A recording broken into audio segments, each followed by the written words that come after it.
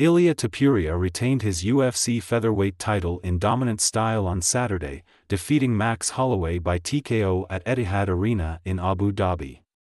Related articles Ilia Topuria cemented his status as the best featherweight on the planet with a third round TKO victory. Over Max Holloway at UFC 308 in Abu Dhabi on Saturday. The Germany-born Spaniard flattened Holloway with a huge left hand before unleashing on the ground as the referee intervened at Etihad Arena. It means he has stopped both. Holloway and Alexander Volkanovski, two of the greatest featherweights of all time, in back-to-back fights, improving to 16-0.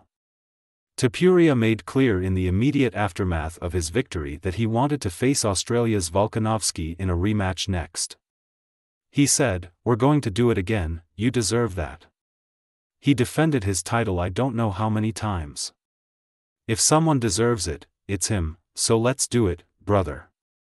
The 27 year old, who holds dual nationality and also represents Georgia, put an exclamation point on an explosive night of action in the United Arab Emirates.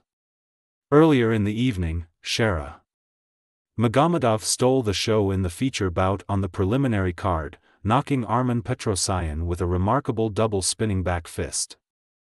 Khamzat Chimaev also kept his winning run going, improving to 14-0 with a submission victory over Robert Whitaker.